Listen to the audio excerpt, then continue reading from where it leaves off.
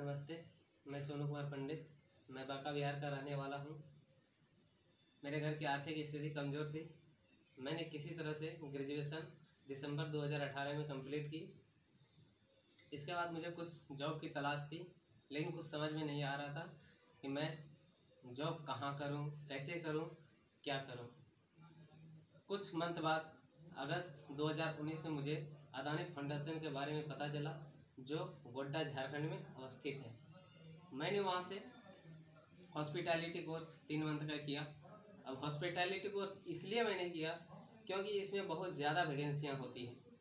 इसमें जॉब की ज़्यादा संभावनाएँ होती हैं। तीन मंथ का कोर्स करने के बाद मुझे अदानी एट सोडेक्सो कंपनी में जॉब मिला जो अहमदाबाद में अवस्थित है। आज मैं यहाँ बारह मंथ से काम कर रहा हूँ। मुझे अच्छा लग रहा है।